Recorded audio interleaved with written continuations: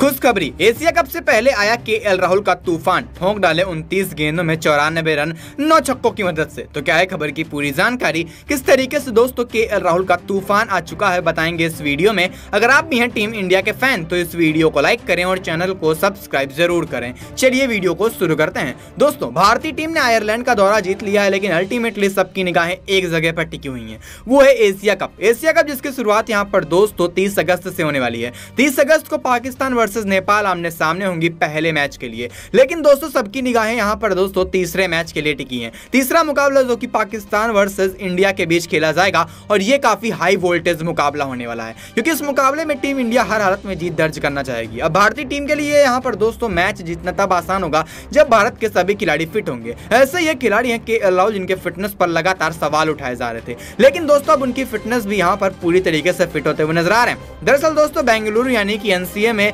यहाँ पर एक प्रैक्टिस सत्र आयोजित किया गया। और सूत्रों से ऐसी खबर आ रही है जिसे सुनकर आप भी झूम उठेंगे। दरअसल दोस्तों, खबर ये आ रही है कि उस प्रैक्टिस सेशन में के एल राहुल ने उनतीस गेंदों में चौरानबे रनों की ताबड़ तोड़ पारी खेल दी है। जी हाँ दोस्तों छोटा ग्राउंड बनाया गया था और क्लब लेवल के गेंदबाज थे और इसका फ़ायदा उठाते हुए के एल राहुल ने यह कारनामा कर दिखाया। और जिस तरीके की बल्लेबाजी के एल राहुल ने किया है, वो फिनोमिनल है। उसमें कोई दो नहीं है और इससे कन्फर्म हो गया है कि के एल राहुल का पूरा फॉर्म वापस आ चुका है और अब उनको चोट भी नहीं रोक सकती है। अब आपकी इस पर क्या रहा है? क्या के एल राहुल के इस फॉर्म से टीम इंडिया को फ़ायदा होगा? कॉमेंट करके अपनी राय ज़रूर दीजिएगा। साथ ही अगर आपको आज की वीडियो पसंद आई हो तो लाइक करिए और उसके साथ साथ हमारे चैनल को सब्सक्राइब ज़रूर करिए। वीडियो देखने के लिए आपका बहुत बहुत धन्यवाद।